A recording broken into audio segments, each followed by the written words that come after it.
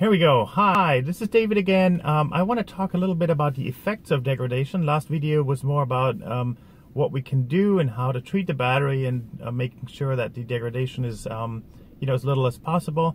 Um, but um, I want to talk about or make this little video about um, what the effects are. How much does it affect you when your battery degrades over time and overuse? you know, at first I thought, you know, it's not even worth making a video because well, what are the effects of degradation? You lose capacity, which means the energy that the battery can hold is kind of less than when it was new, and that just uh, results in less range. So basically, when the battery degrades, you have less range. Um, and that's kind of a common thing, common knowledge, and I think everybody kind of knows that. But you know, making that other video and the discussion that I mentioned about um, how the um, supercharging affects degradation made me think especially the email that um, Tesla sent out to that uh, person that found out about it and um, and asked Tesla what it, what it is about and everything, and they replied by saying that, you know, over time and overuse, um, the chemistry, the uh, battery basically changes, and they have to adjust the charge rate at a supercharger in in, in, in certain uh, ways, and actually it means that it is a little bit slower. Um, the the charge rate is actually clipped at about a little over 90 kilowatt hours. Uh, sorry, little over kilo 90 kilowatt. Um, now that was a 90 battery. Um, I have an older 85. I didn't notice this uh, drop or this cutoff at a certain uh, charge rate. When I plug in, I still get about the same charge rate that um, I used to get when the car was new. But I noticed that over time, and that's something that happened very gradually, that um, the time it takes to charge uh, at a supercharger is a little bit longer. Um, and it's hard to figure that out because when you plug in, the charge rate initially is the same as it was when it was new, but then it seems to just uh, taper off a little different, uh, mostly faster.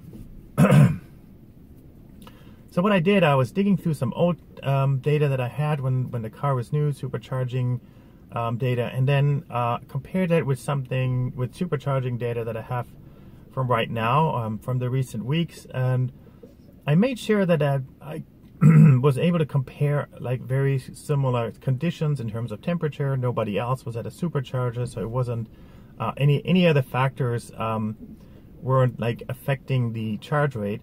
And what I found out was actually kind of shocking um, because um, I'm going to show you here in this graph that I made. Um, if you look at this, there's two curves. Uh, one when a car was new, and the other one um, is a car as it is right now. In my case, it's 133,000 miles and about um, almost four years now.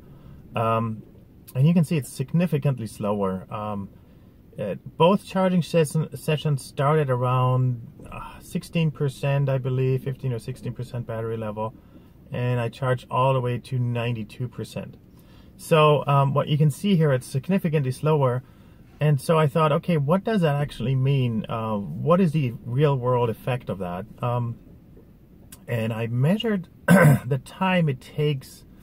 Um, oh, let me start this way. Um, on average, when you go on a road trip and you charge at a supercharger to go to the next one and so on, you need on average about 40 kilowatt hours of, of energy to make it to the next one. Again, that's an average. Sometimes it's a little longer. Sometimes superchargers are spaced out a little um, less and you need to charge less, but that's kind of a good average um, based on my experience. And so, how much time does it take to charge those 40 kilowatt hours? Um, when the car was new, is about 27 minutes, and now in my current state with this car, much older, it takes about 34, 35 minutes roughly. Um, so that is actually quite a significant difference. So there's about seven, maybe eight minutes of uh, time difference at each supercharger. So um, it's not overall, it's at every station I need to charge about seven or eight minutes longer than, than I used to be able to do that when the car was new. Um, that's a quite a big difference for me because I take a lot of road trips. About 60% of the miles that I drive on this car are actually road trips. So um, that actually makes a big difference to me. The other effect of, of degradation, the loss of range, actually doesn't affect me at all. And I think in most cases, for most people, it I don't think it makes a big difference. I have a I had 100 and no sorry 270 miles when the car was new. Now I have 247 miles, I think, when the car is fully charged. Um, so I lost a few uh, miles in range, but I, I, even even if I, on a busy day, maybe I drive 150 miles, so it doesn't affect me at all. One other thing I want to mention that uh, has to do with supercharging in a in a slower charge rate. Um, what I've experienced and uh, many others have experienced as well. Sometimes you plug into a supercharger, you see the charge rate uh, perfectly uh, fine, and then after a few minutes you see it drop to about around 60 kilowatt. Um, and again like a lot of people have experienced that and seen that including me. And that seems to have nothing to do with degradation. It's happening to new cars as the same as it happens to older cars. It seems to happen pretty randomly. There is no really uh, certain condition that seem to trigger that or not. Um, I've have I have access to the CAN bus of the car through a little app, and I haven't been able to make any correlation with any temperature or other data that comes from the car that seems to be triggering that. I think the best theory right now is that um, the charge handles at a supercharging station they were replaced um, over the last I think one and a half years by Tesla and they seem to be having some kinds of issues with getting too hot um, and then there's a temperature sensor in it and that uh, makes the supercharger to uh, reduce the charge rate to prevent it from overheating. Obviously that's a flaw, that's a design flaw and Tesla is trying to fix that.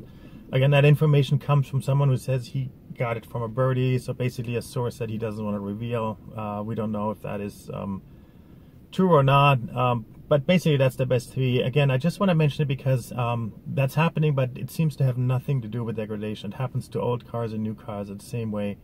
Um, so I guess the uh, handle theory, overheating handle theory, seems to be the best one to explain that. Um, I just wanted to put that information out. Um, and um, yes, I'm still working on my big 100,000 um, mile review, which uh, didn't happen because right now I already have 133,000 miles. Um, but I'm working on it and I hope I'll have it done soon, so stay tuned for that. And thanks for watching.